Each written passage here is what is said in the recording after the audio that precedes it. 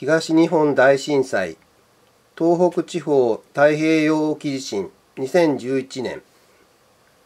2011年3月11日午後2時46分東北地方の太平洋沖を震源にして